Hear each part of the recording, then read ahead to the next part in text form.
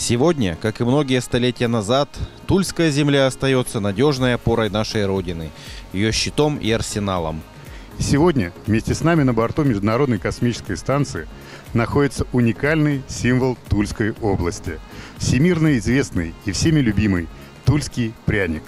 А это значит, что туликам покорилась новая космическая высота. Поздравляю вас, ребята.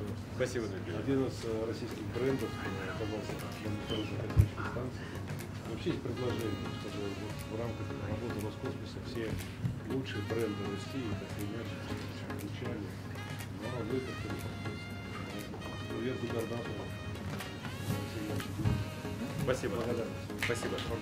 Э, Этот пряник займет самое достойное место на родине, в музее, вместе с программой работы экипажа. Мы хочется пожелать вам успехов и то, что дерзновенный путь э, штурма космоса, пусть уже не гением советского, а гением российского человека, продолжается и будет самым успешным. Спасибо и вам успехов. Честно говоря, хотели скомячить его,